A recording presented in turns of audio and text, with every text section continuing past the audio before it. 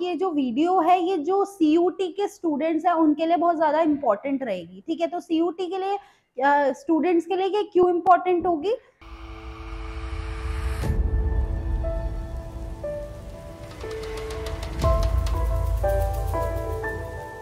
Hello everyone I am Madhu from toppers academy तो आज की ये जो वीडियो है ये जो सीयूटी के स्टूडेंट्स हैं उनके लिए बहुत ज़्यादा इंपॉर्टेंट रहेगी। ठीक है? तो सीयूटी के लिए स्टूडेंट्स uh, के लिए ये क्यों इम्पोर्टेंट होगी?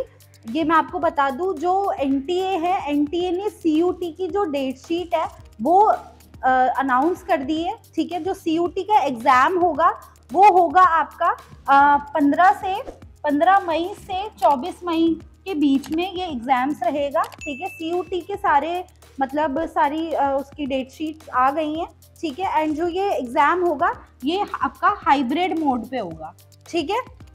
बाकी सी की जो डेट शीट रहेगी, वो ऐसे पीडीएफ फॉर्म में आ जाएगी। ठीक है, जैसे मान लो कि 15 मई को आपका एग्ज़ाम है तो 15 मई को भी आपके शिफ्ट वन ठीक है शिफ्ट वन में भी आपका ए और बी शिफ्ट रहेगा।